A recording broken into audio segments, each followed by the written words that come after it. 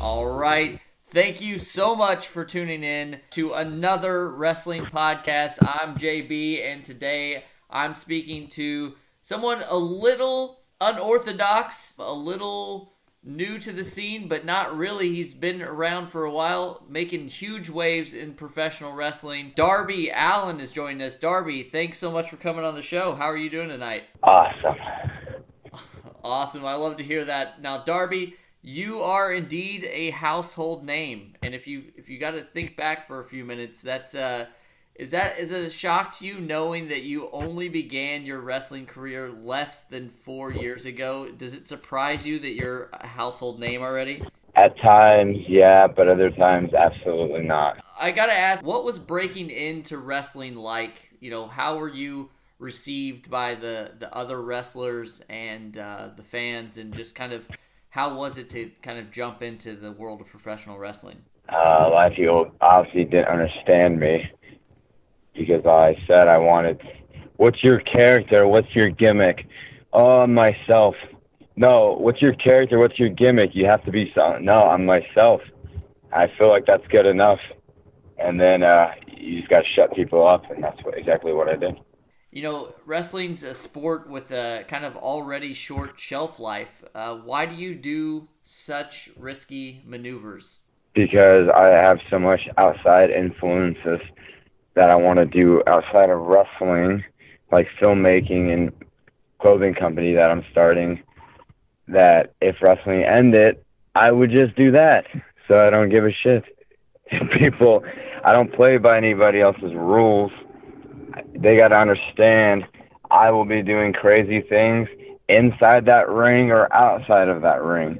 So just leave me alone. The uh, the riskiest of all of your moves, perhaps, is the coffin drop. Why did you choose that as your your signature go to move? Because I don't fly to look pretty. I fly to hurt. And me just falling back on someone, I don't need to do three rotations to do that. I could just do it, and just fall back on him, and uh, that gets the job done. So yeah, I'd say that was a a go-to thing because it just looks painful, but it doesn't look pretty. All right, all right. Now, um, with all those high-risk maneuvers and uh, the fact that prior to professional wrestling you were a professional skateboarder, uh, what has been your worst injury so far in your career? Probably broke my uh, elbow with a shovel. That was pretty.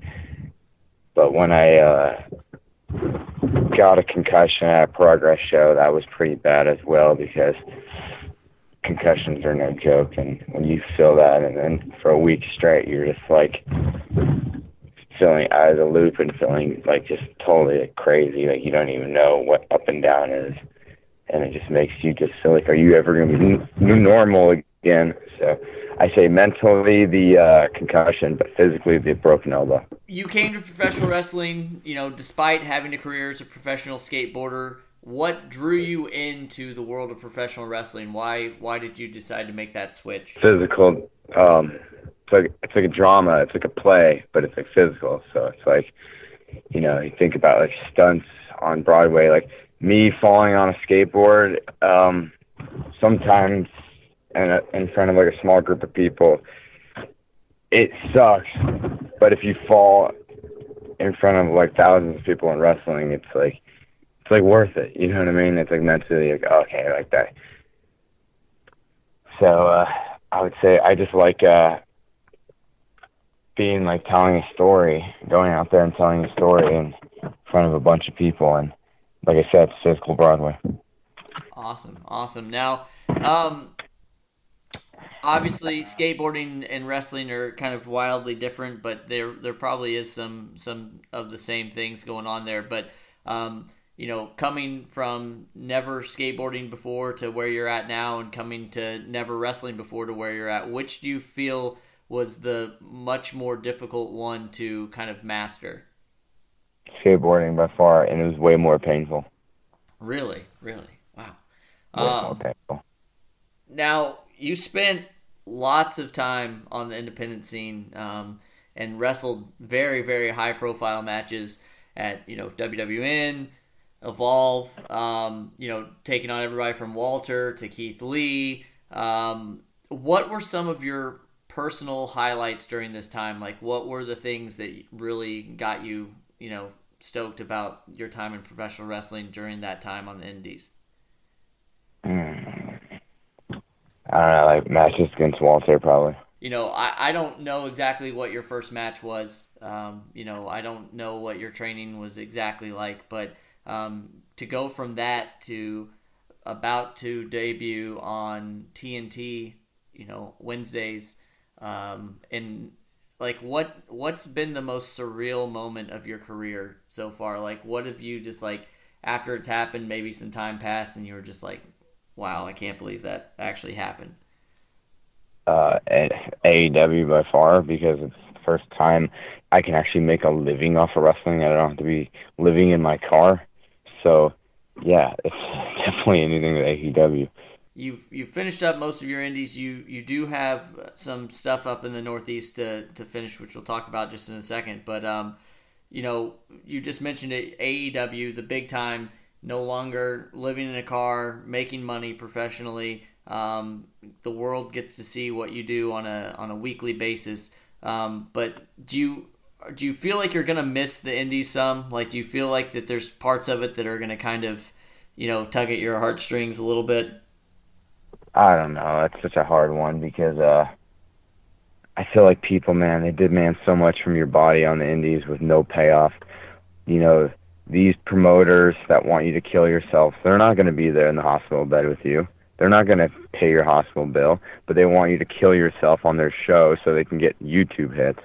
So there's parts of me that I don't give a shit, and then there's other parts where I'm like, you know, the fans and the intimacy of everything. Of course, you know, you're gonna miss that. All right. Now, um, I mentioned, you know, here in the Northeast, uh, you are currently the Northeast Wrestling Champion. Um, what's that title mean to you? And what do you think of your upcoming opponent, King Brian Anthony? You go one on one with him October 19th, live in Bethany, Connecticut. Being the champion at uh, Northeast Wrestling, it's a good, it's a, like a good checkpoint on my career because when I first started there, like you'd always hear about it. They have all these like super shows, like Mysterio, like the list goes on of these like just crazy names and stuff like that. So, uh, you know, like that stuff, uh, always like, okay, like to be on the top of that company is a good checkpoint. Um, but like King Brian is a guy, like, um, that, you know, I, I, he's been doing this a lot, lot, lot longer. And, uh, I think he has a big chip on his shoulder coming into this match for sure because he sees that I'm kind of out the door and you know he wants me to like just he wants to be the one taking that from me so taking that championship from me so you know of course there's gonna be a lot of anger with him because he's been doing this a lot longer and stuff like that and he sees a little skateboard punk rock guy coming in and stealing his uh his uh still in his spotlight for sure all right all right well um the life of a wrestler uh, is often spent, you know, traveling, going from place to place, being on the road a lot. Um, when you are on the road, whether it be on, you know, flying from place to place or driving from place to place, what kind of keeps you sane while you're you're traveling? What what do you do to keep you going? You know, just skateboarding and uh, music and just you know working out and stuff like that. It just keeps me like it's my uh, therapy. All right, you just mentioned music. What are what what does a Darby Allin listen to on a daily basis? Mm, all types of stuff, but mainly uh, anarcho punk, like Crass and uh, a bunch of bands like that. And um, yeah, like uh, just stuff that makes you want to take on the world, like Black Flag and all these other bands and stuff like that. You know, so awesome. there's a big, big list of things. All right. Um, if you had to say, you know, just knowing that everybody doesn't really know you, they just see you, you know, in snippets on television or you know matches or whatever. What would you say the biggest misconception um, that fans or other wrestlers may have about you is? Is that I want to be wrestling forever.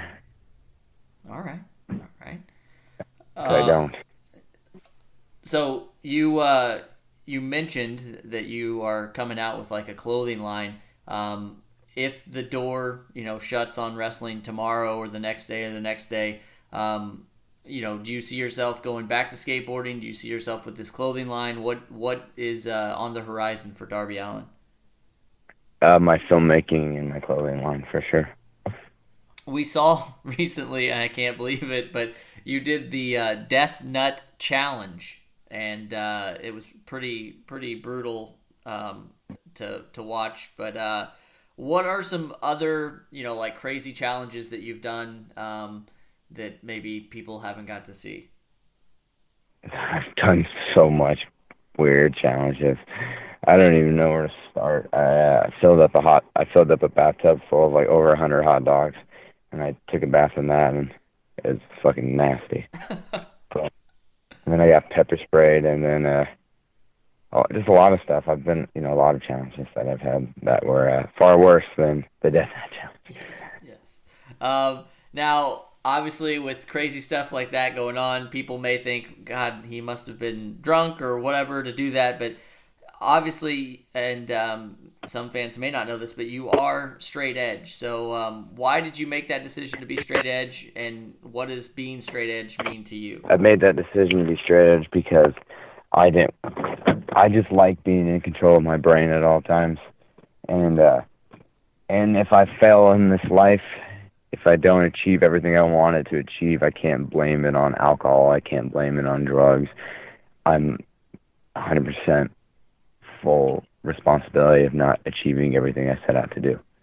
You've already had some amazing moments in AEW, some you know highlight reel moments, but with uh, October second right around the corner, and uh, you being on TNT Dynamite Wednesday nights, um, what are you after in AEW? Why are you Why are you there? because it's a company that gives me the chance to be myself. That's like the only reason I really, really like fall in love with AEW is because it's like here, be yourself, and um, that's all I've ever wanted, you know. So All right. Well, we look forward to seeing you live um, every week now. And um, is there anything else that you want to get off your chest before you go tonight? nah, man, I'm just getting ready for fucking DC. Awesome. Awesome. Well, thank you so much. We will probably see you live also at Northeast Wrestling in Bethany, Connecticut, uh, Autumn Ambush, October 19th. But uh, until then, just uh, congrats on all your success and uh, keep up all the great work. All right, sounds good. Thank you, man.